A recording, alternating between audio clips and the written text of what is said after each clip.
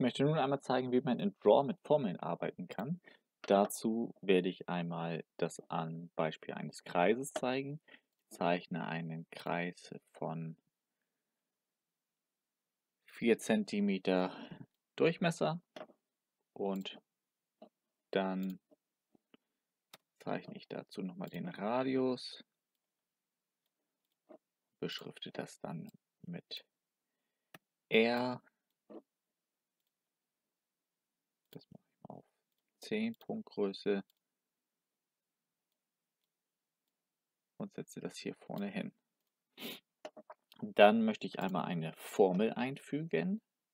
Einfügen Ole Objekt, Formel und ähm, diese Formel setze ich einmal hier vorne hin und arbeite jetzt einmal mit einer Matrix.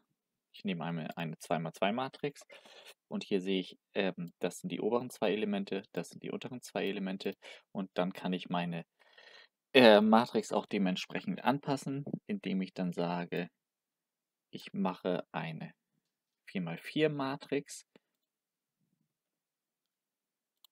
Da fehlt noch einmal eine Raute. Ähm, und das kopiere ich dann ein paar Mal ähm,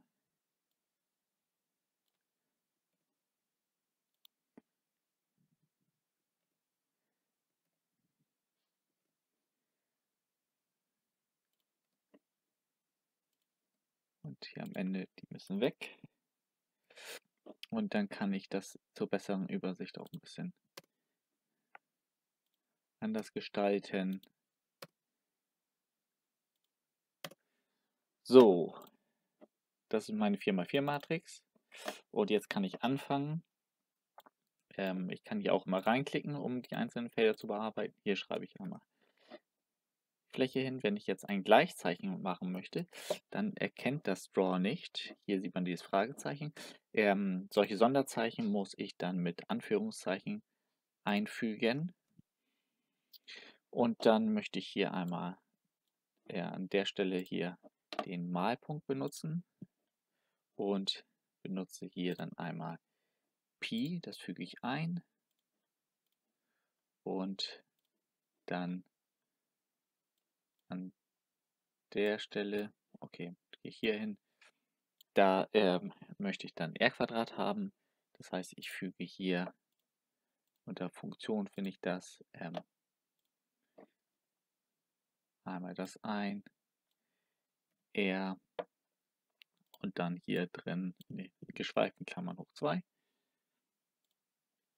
Und dann möchte ich hier am Ende dann noch einmal meinen Umformungsschritt machen. Als nächstes würde ich dann durch Pi teilen. Auch hier muss ich die Anführungszeichen benutzen, wenn ich dann diesen Strich benutze. Und dann geteilt durch Pi kann ich von hier kopieren. Und dann habe ich meine erste Zeile fertig. Die anderen Zeilen habe ich schon einmal äh, fertig geschrieben. Brauche ich dann nur einfügen.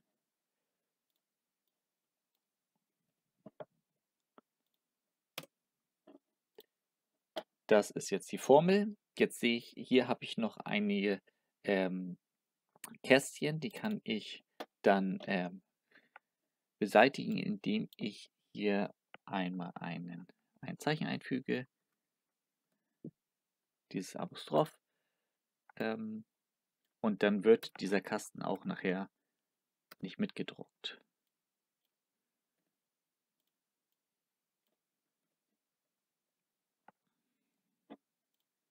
Jetzt sieht das schon ganz gut aus.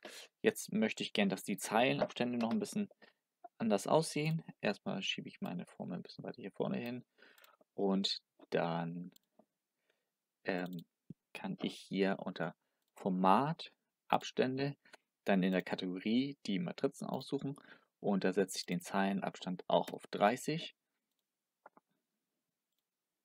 Das sieht ganz gut aus und dann könnte ich eventuell noch, wenn ich will, hier ähm, die Schriftart ändern ähm, und ähm, anderes anpassen, aber das möchte ich im Moment nicht. Soweit erstmal zu der Formel.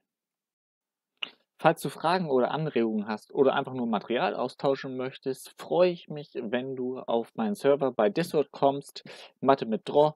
Den ähm, Link zu der Einladung, den findest du unter dem Video.